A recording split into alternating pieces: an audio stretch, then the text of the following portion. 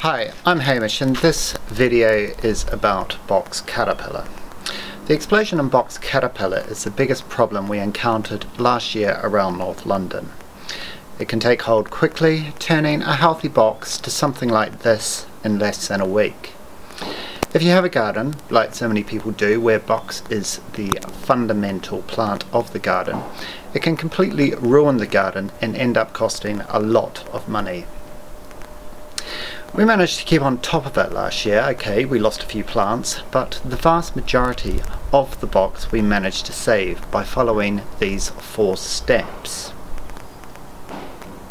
Firstly, detect early the first signs of box caterpillar. Here it is, the brown patches on the plant, which is easy just to pass off as dryness. This is the box caterpillar itself. Secondly, spray the infected plants thoroughly as soon as possible with just an off-the-shelf garden caterpillar spray. There's no use trying to pick the caterpillars off by hand as there are often so many of them and they are very difficult to see. Thirdly, check the plant throughout the summer at regular intervals for any signs of reoccurring caterpillar activity. If so, spray again. Fourth, regularly feed the infected plants to encourage them to green up again. We found that this worked and saved the box in the gardens we maintain.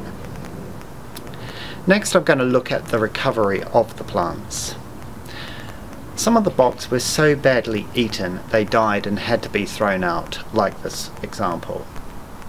Others we decided to monitor their recovery, so if you have a box which has been attacked, this may help you in your decision whether to replace the plants or stick with them.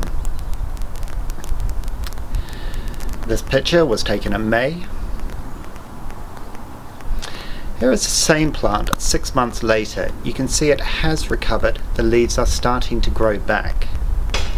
Generally, with some more feeding, by, by next season, by summer next season, it should look respectable. So if you have box which has been damaged, it's often worth sticking with it, sticking with it as it will recover. You'll have to spray and feed them throughout the growing season. How quickly they will recover will depend on how much damage the plant has sustained. Thanks for watching.